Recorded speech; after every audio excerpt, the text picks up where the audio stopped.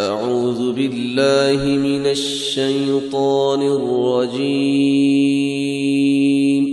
بسم الله الرحمن الرحيم. وقال